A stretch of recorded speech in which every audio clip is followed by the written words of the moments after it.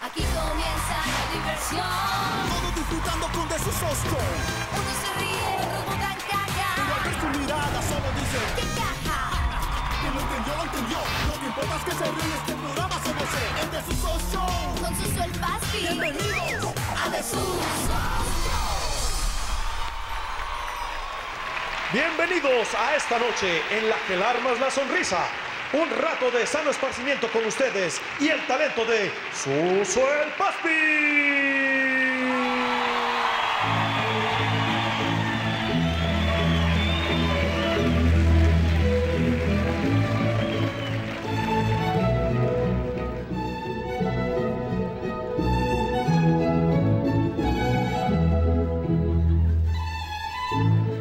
A mí no me sale, a mí no me sale eso. Yo soy guache así, soy atarbal del pueblo. Buenas noches. Saludos a los extranjeros. Good morning.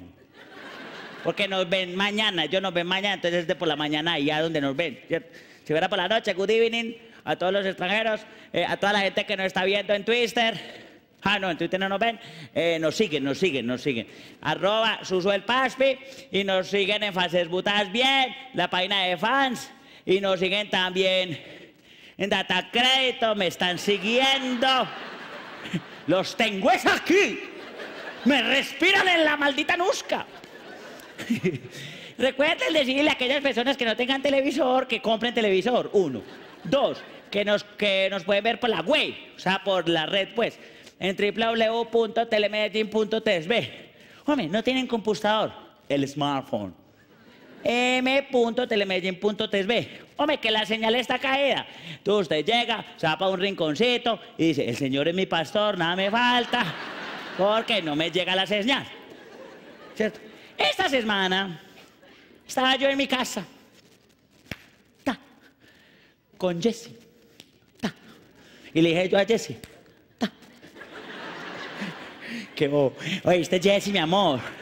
Tu mamá tan hermosa con esa verruga en la cara. ¿Por qué vive aquí vestida si ella tiene su casa? ¿Qué le he dicho? Se encrespó esa mujer. ¿Qué? ¿Y es que nos vas a humillar con esta casa o qué? Diga de una vez, meto. No, Jessy, no que es que a su mamá para sacarla aquí a ver que contratar abogado, me. Jessy, es un chiste. No, pues mira cómo me río. Ja, ja, ja. Y arrancó a echar cantaleta y yo la escucha. Así la escucha uno, mujeres, para que sepan. Cuando ustedes echan cantaleta, uno escucha. Y yo mientras ella echaba cantaleta, yo decía, hombre, ¿por qué no hablo de los abogados en el programa de sus? O sea, a mí. Entonces yo, aquí, les voy a preguntar a ustedes, ¿qué día celebran los abogados su día? Tienen que decir, no, no sabemos. El 22 de junio. ¿Y por qué se celebra el 22 de junio? Eso sí, seguro, no necesito decirles pues también. Pues yo tampoco tengo ni idea. ¿Hay abogados en la sala, please? Hay uno por allá. Otro por allá. Señora. Un abogado por allí, hombre, con todo respeto. Licenciado. Este monólogo lo vamos a hacer como hacen el amor los puerco espín, con mucho cuidadito.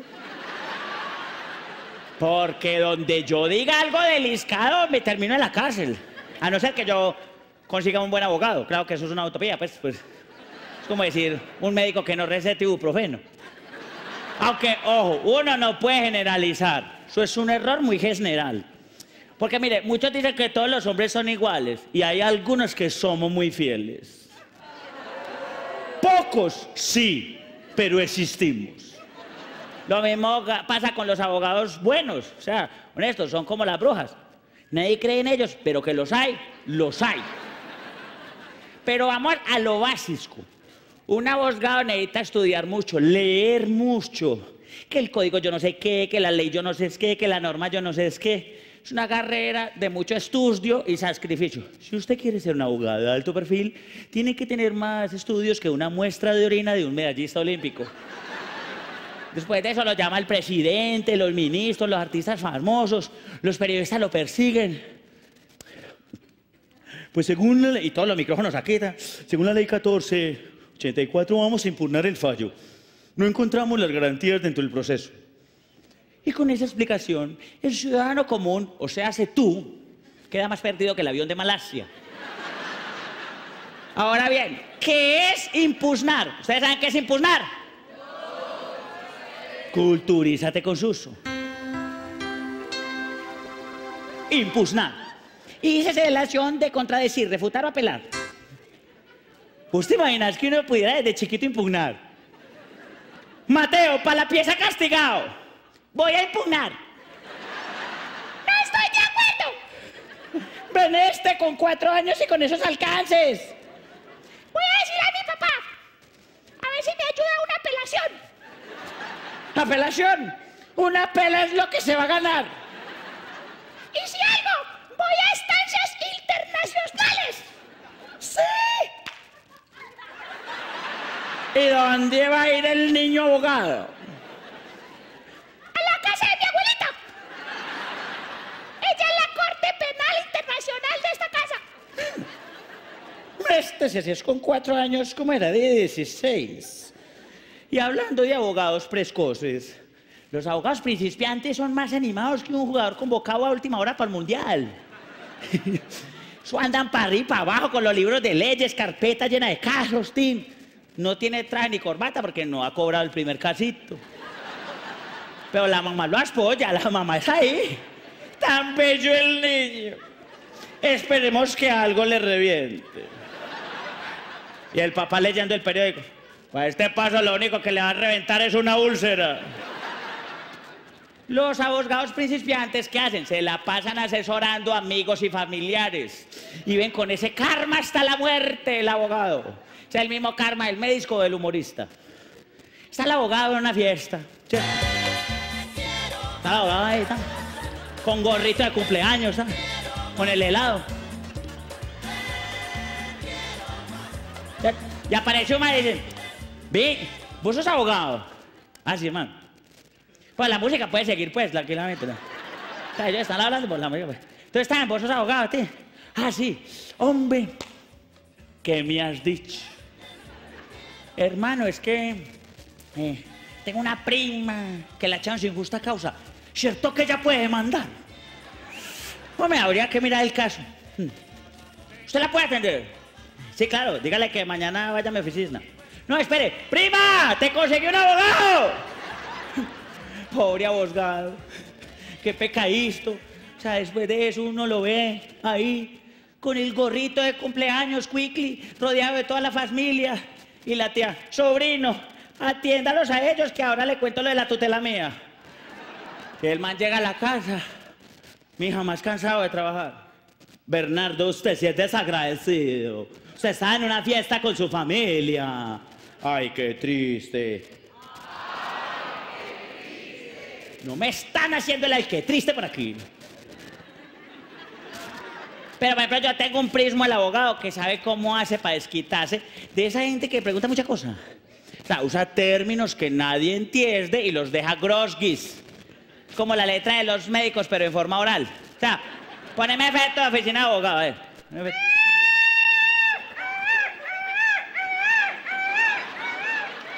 Bueno, sí, el abogado tiene una mascota ahí, que donde lo pide el área metropolitana, y lo. ¿Qué más pues, mi doctor? Es que yo tenía que venirle a decir porque yo necesito un abogado para la pensión de mi mamá, pues. Entonces, el abogado le pregunta. Ustedes ni saben qué le va a preguntar, ¿cierto? Ustedes no tienen ni idea. ¿Tu madre ya tiene las semanas cotizadas? Sí, señor. ¿Y tiene la edad? Mi señora madre tiene 97 años. Ah, no, su mamá ya tiene más semanas cotizadas que Mondragón. Yo voy a pasar el caso, pero rece porque fijo le queda debiendo semana al gobierno y dos años de cárcel de madre. Ay, cuema chica, salto galeras bendito. Pues no se preocupe que sea algo, impugnamos. Pero hay gente que recurre al abogado bajo mundo, que tiene oficina en una pieza de un hostal, en un barrio de mala muerte. De esos barrios que si usted para un taxi para que lo lleve allá, el taxista dice, mano, vamos, pues igual para morir nacimos. ¿Cómo? Entonces usted llega allá tan y se encuestra usted a ese abogado con ojo de vidrio. Cara de maté a muchos pero nunca me pillaron.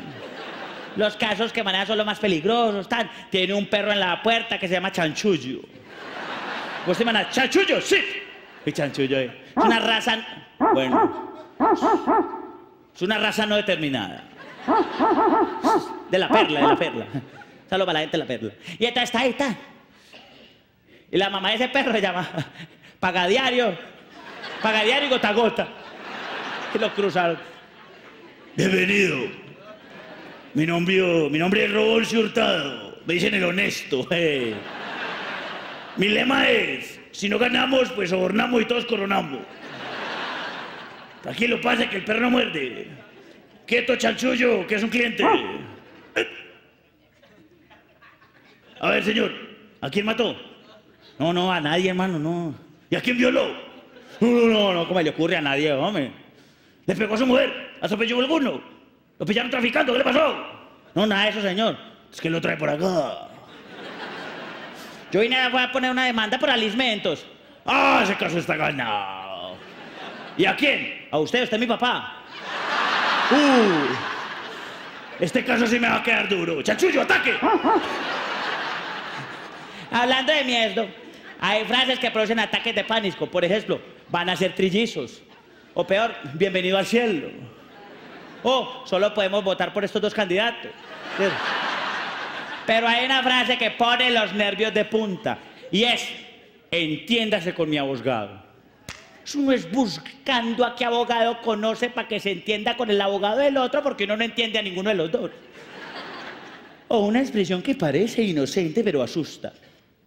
Contencioso administrativo. A mí me dicen eso en la frase que sea. Y quedo más estresado que gato de restaurante chino. Eso es una cosa. Hermano, que vamos a jugar un partido con el, contra el contencioso administrativo. No, hermano, yo no voy, yo no voy. Señor, la carta de hoy es mondongo a las finas hierbas o contencioso administrativo en salsa teriyaki. No, no, dame el mondonguito, dame el mondonguito. Contencioso administrativo es como si le dijeran que va para una cita con Rasputín en la Inquisición. Y está la pelada de la casa. Papi, ¿quién es Rasputín? Refuerzo ruso del Cúcuta del 78, mi amor. Es que las palabras de los abogados no son para todo el mundo. O sea, yo tengo una tía que siempre dice, es que a él lo liberaron por el Opus Dei. No, tía, habías corpus. ¡Ay, bobo, me entendió! Hay abogados muy empelisculados. O sea, todo lo ven en términos de derecho. ¿vos te imaginas en un restaurante el man? Señora, a esta sopa le faltan pruebas. Voy a impugnar este plato porque voy a... Voy a impugnar este plato que... ¿Sabe qué? Prepáreme otro litigio, por favor.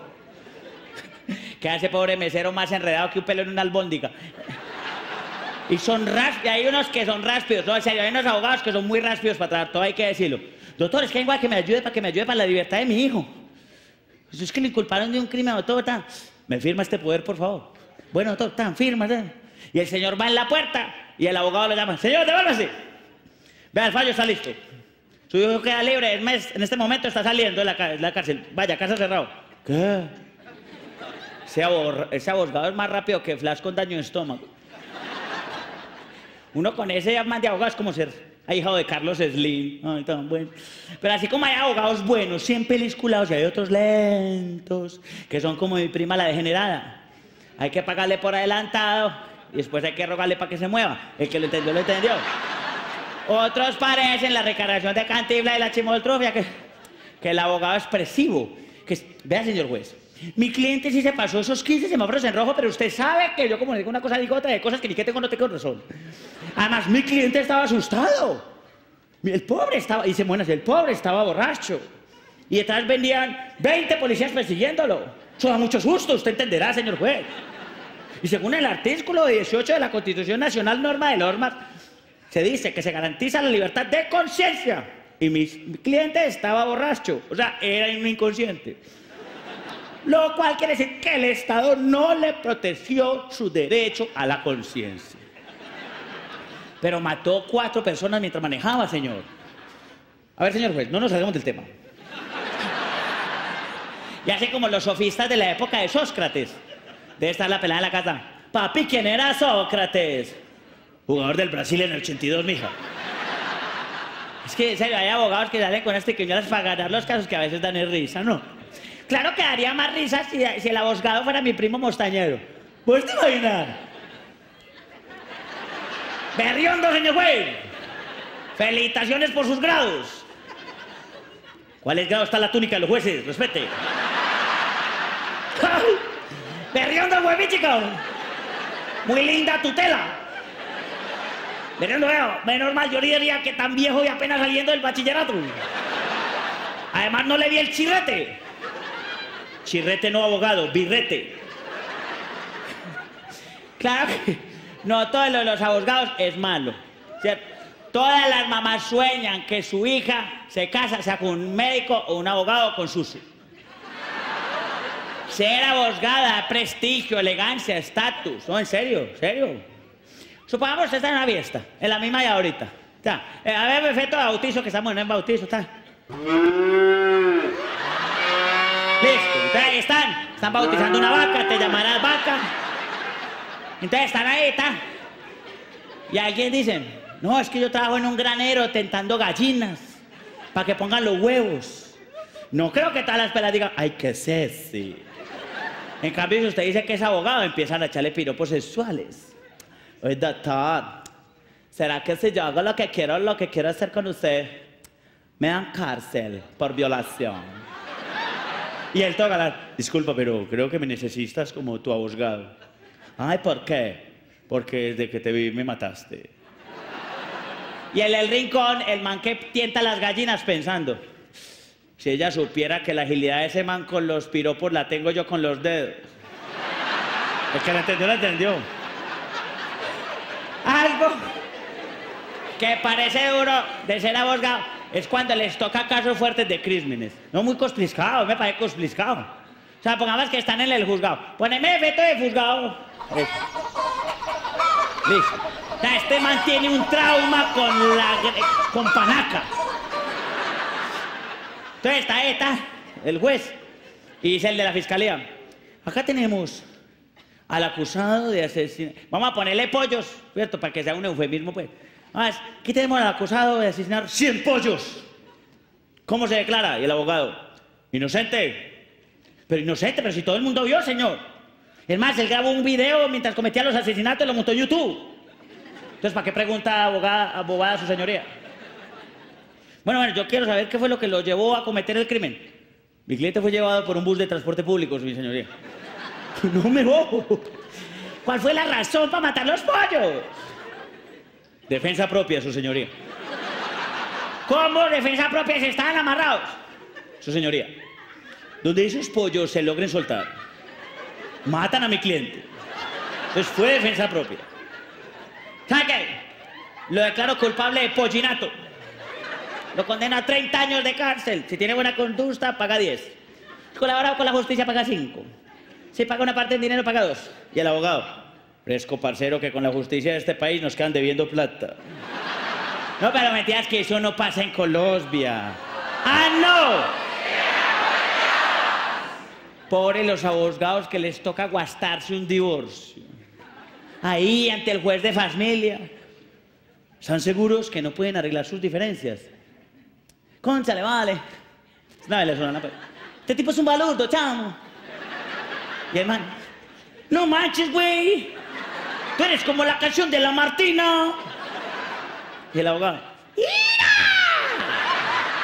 Cógela suave, ¿verdad? Cógela suave, cógela suave.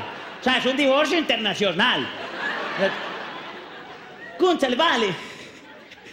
Lo que pasa es que este señor no me puede responder como un hombre. Y el mexicano. Pero, ¿qué pasa, Topacio? ¿Qué golpe tan bajo, chaparrita? ¡Qué mala onda! Mira, compadre, eso te pasa por no estar tomando ahí tequila, ¿ah? Tienes que comer ñave para que te ponga eso como pata de perro envenenado. Y el juez aquí. Por lo que veo entonces, el divorcio no lo para nadie. Aquí no para nadie es a este, chamo. Meses después, el abogado costeño monta una, una foto con la venezolana, los dos en un crucero por el Caribe.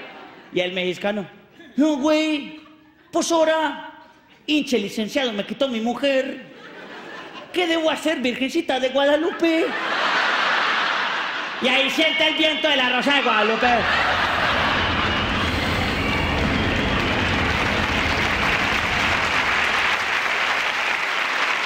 Por eso, el decreto de hoy es apelar a la sonrisa para que con dolo nos devuelvan la alegría, impugnar las tristezas para ganar el juicio contra la aburrición y podamos abogar por la felicidad en sus hogares. Qué lindo me quedó. La conciencia, les digo que es lo que destaco aquí, eso es lo que les digo yo. Y feliz día para todos los abogados. Ya regresamos en Desusos.